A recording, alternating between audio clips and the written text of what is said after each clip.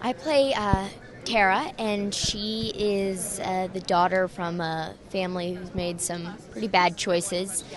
And she's at a, a point in her life where she can take two roads. You know, she can go down um, the dark road that her mom went down, or, you know, the road to forgiveness and um, a better life.